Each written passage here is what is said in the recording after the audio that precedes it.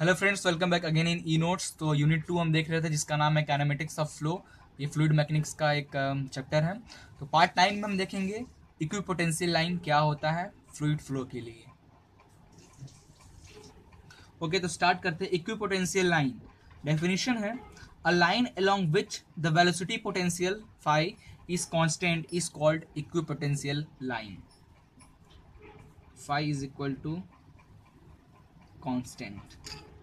Means del psi is also equal to 0 but if phi is equal to function x, y, ठीक है?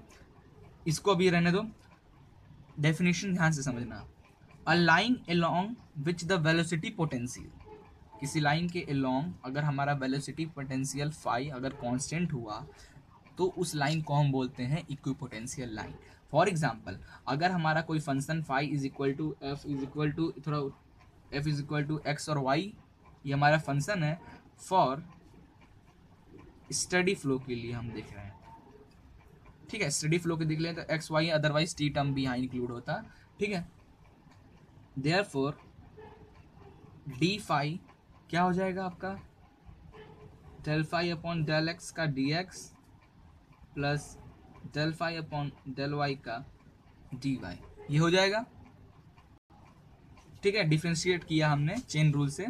अब देखो D phi is equal to del phi upon del X velocity phi के term में means velocity potential का इसमें बात आ रही है। तो del phi upon del X का क्या होता है? याद करो del phi upon del X minus of del phi upon del X represent करता था हमारा यू तो यहाँ पे क्या हो जाएगा? Minus of u d x plus del phi upon del y negative represent करता था डायरेक्शन वी का। ये हो जाएगा minus of v d y ठीक है? तो आप इसे लिख सकते हो d phi is equal to minus u d x minus v d y और d phi is equal to minus of u d x plus v d y. ठीक है? तो ये हमारा फाइनल बना। अब देखो, अब इक्विपोटेंशियल लाइन की बात करते हैं। तो फॉर इक्विपोटेंशियल लाइन और इक्विपोटेंशियल लाइन डी फाई क्या होता है? हमारा ज़ीरो होना चाहिए। मीन्स कांस्टेंट होना चाहिए। ठीक है? Therefore minus of u d x plus v d y is equal to zero okay और इसे आप लिख सकते हो u d x plus v d y is equal to zero therefore d y upon d x इसको transfer करो तो d y upon d x is equal to minus of u upon v ऐसा कुछ बन रहा है?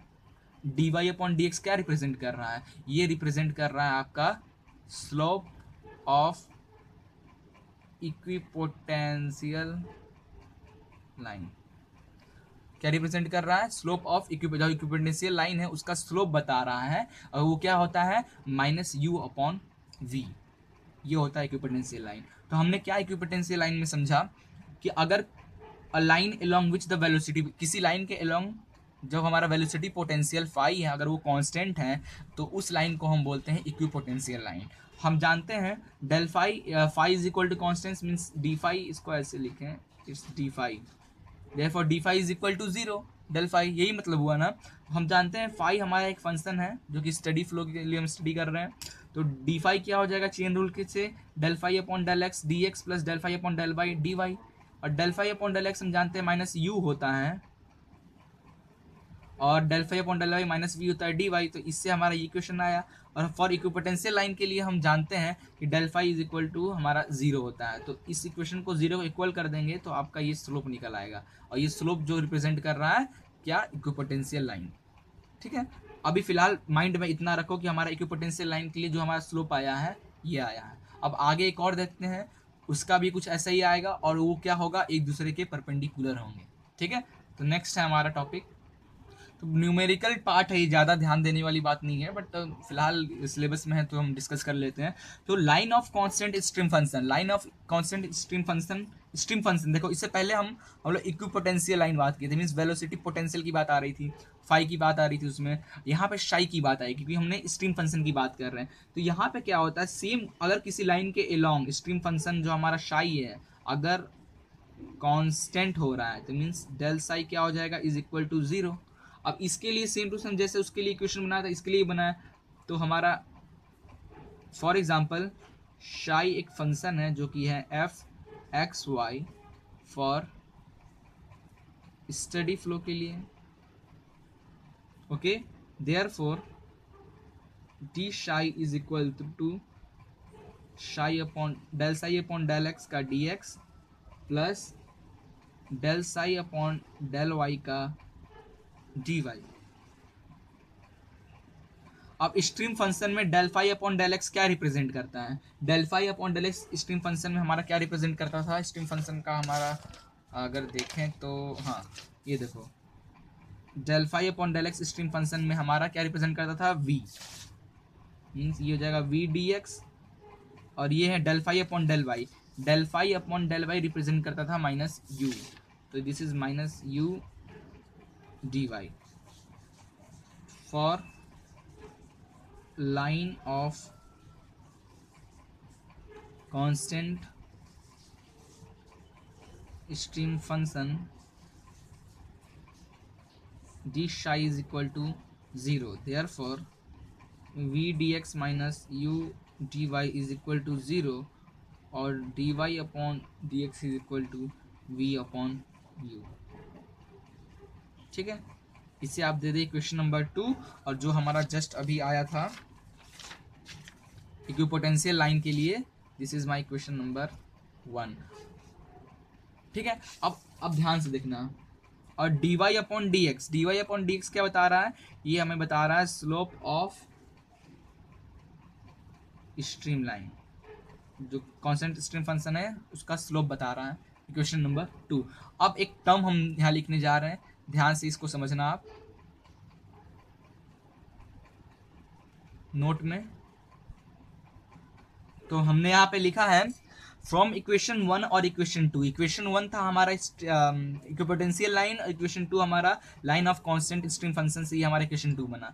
तो from equation one and equation two it is clear that the product of slope of equipotential line and the slope slope of constant stream line जो हमने अभी देखा that is equation two and this is the equation one से जो हमारा आया था और इक्वेशन टू से जो हमारा आया था at the point of intersection is equal to minus one दोनों में आप देखोगे माइनस का अंतर है मीन्स माइनस वन का इंटरसेक्शन है।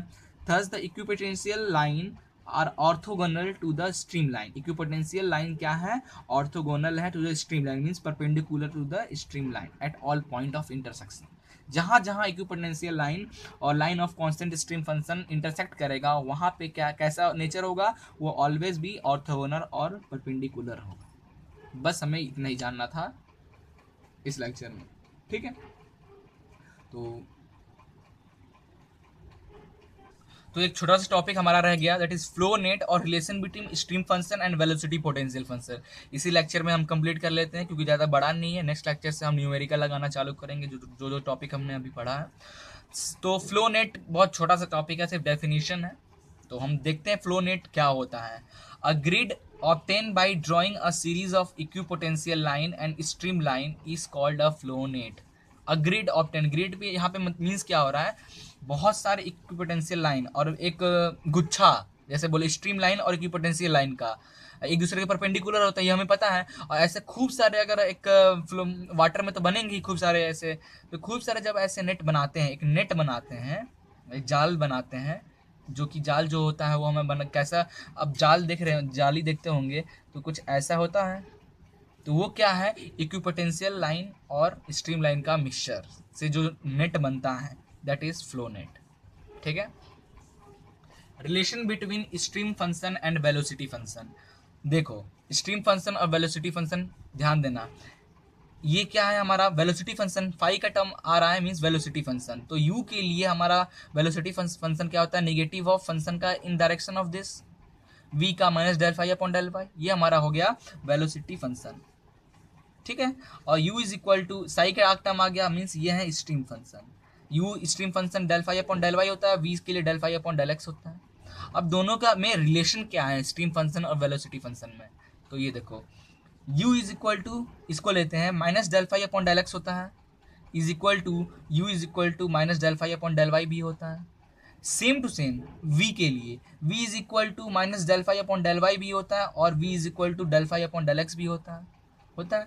देयर फोर अब इस इक्वेशन को del phi upon del x minus minus cancel कर देते हैं इज़ इक्वल टू डेल तो जो आपका del phi upon del x वो इक्वल होता है del psi upon del y के। और del phi upon del y वो इक्वल होता है minus of del psi upon del x के। तो ये रिलेशन हमारा बना स्ट्रीम फ़ंक्शन और वेलोसिटी फ़ंक्शन के बीच में। ठीक है?